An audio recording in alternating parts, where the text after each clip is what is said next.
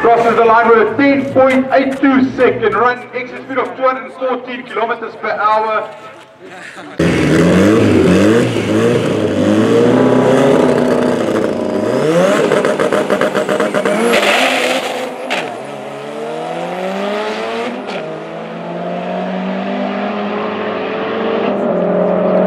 Little champ runs very strong, crosses with a 10.57 second run, exit speed of 218, right lane 1163.